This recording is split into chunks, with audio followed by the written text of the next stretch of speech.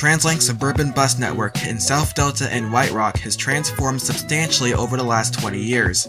The segment has been vital for the bus network as well as the overall network as a whole. But what vehicle is responsible for its early success and inauguration? These vehicles are the Orion 5s, and they are disappearing from the network. But what makes these vehicles special, you may ask? Well, in this first episode of a brand new series, let's analyze the history of the Orions.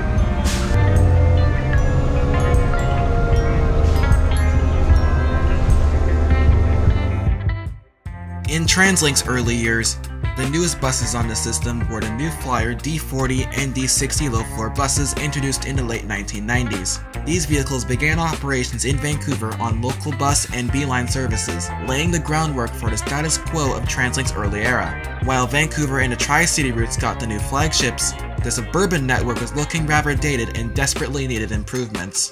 As one of their first projects, TransLink made plans to overhaul the suburban bus system in Ladner, White Rock, and South Surrey under the Strategic Transportation Plan, a revitalization effort for the suburban bus network to update the infrastructure in the area. While existing infrastructure was being overhauled and new facilities were built, a new vehicle was also needed to complement the suburban revitalization. The city-dwelling New Flyers did not fit the long and skinny routes of the suburban niche as their configurations conflicted with the inconsistent passenger volumes of these routes. These buses were also not necessarily the most comfortable to sit in either. As a result, TransLink and the Coast Mountain Bus Company, or the CMBC, were looking for a suburban bus model that can be customized for long distance service and be comfortable for passengers. And at the end of the decade, they made an order.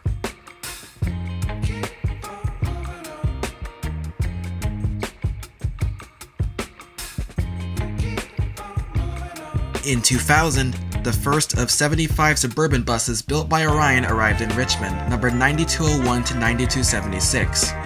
These buses were customized variants of the Orion 5 model. Around this point in transit history, the Orion 5 bus model had been operating across North America and Canada and the US since the model's introduction in the 1980s. TransLink's Orions have a capacity of 60 passengers and consist of improved features from the other buses at the time. The Orions feature a high floor for better passenger comfort, massive windows for better views of the surroundings and traffic, 23% more seating, air conditioning, individual reading lights, high back reclining seats, luggage racks, a wheelchair ramp, and a bike rack. The early units featured a 275 horsepower Detroit Diesel Series 50 engine and an Allison World transmission. The Detroit Diesels are infamous for their iconic engine sounds, and the Orions were no exception. Here are a few samples.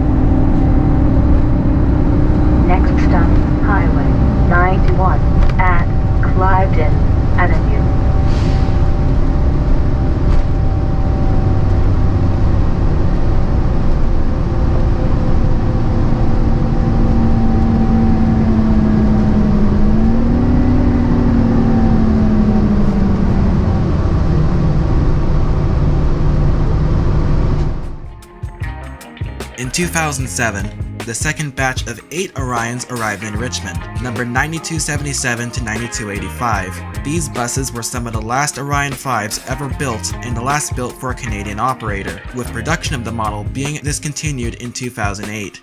Orion itself ceased production and was later acquired by New Flyer in 2012. The 2007 Orions are very similar to the 2001 units with some small differences, the most significant being the untinted windows and the powertrain, which was a 285 horsepower Cummins engine, which was more powerful but quieter compared to the classic Detroit diesel engine.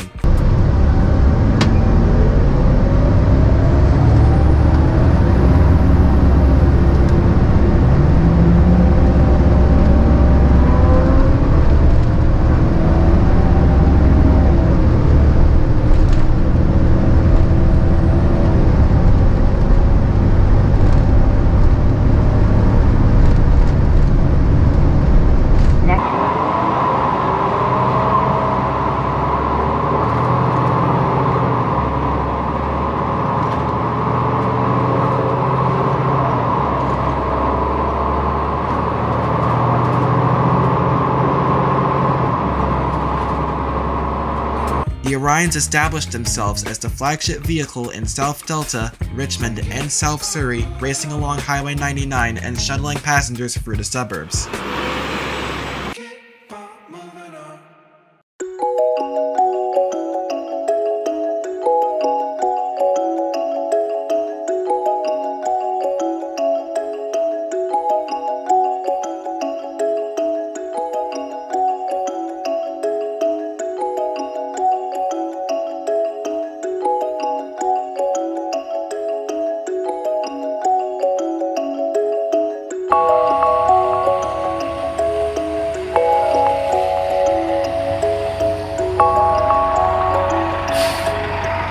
Between 2012 and 2013, a handful were refurbished and relocated from Richmond to Port Moody for service on the brand new 555 Port Mann Express, an express bus service between Braid Station in New Westminster and a newly opened Carvolth Exchange in Langley.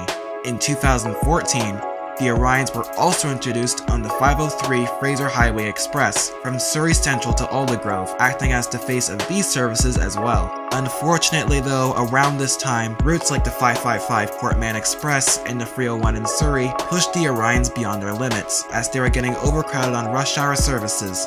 Regardless, the Orion 5s became the flagship of Langley's express bus services as well as continuing as the flagships of the South Coast.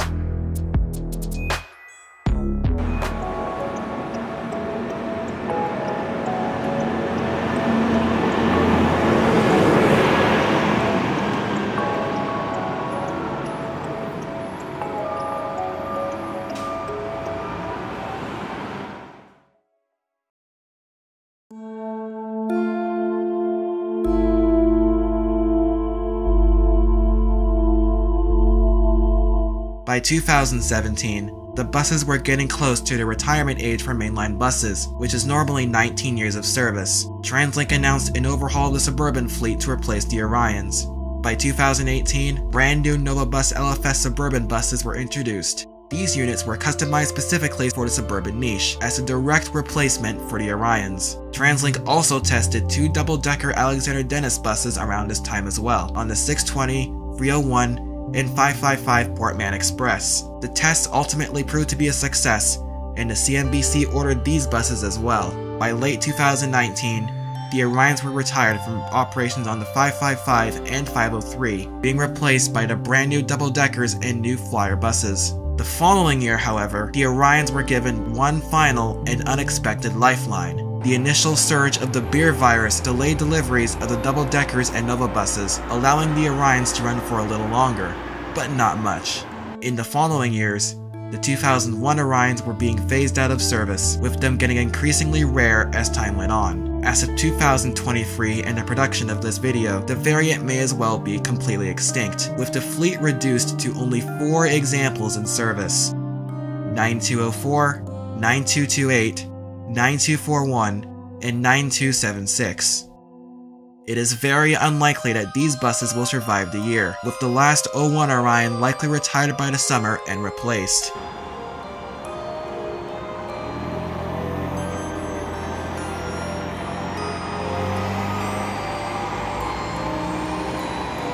But what about the second batch of Orions ordered in the mid 2000s? Well, all of them are still in service. For now.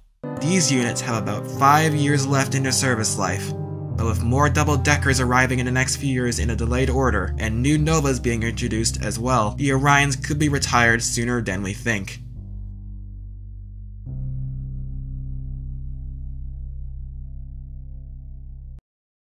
Nevertheless, the Orions have changed the landscape of the suburban bus operations on Translink's network, proudly operated by the Coast Mountain Bus Company and have definitely placed their mark in the history book of Translink in the classic early 2000s and 2010s era of the network.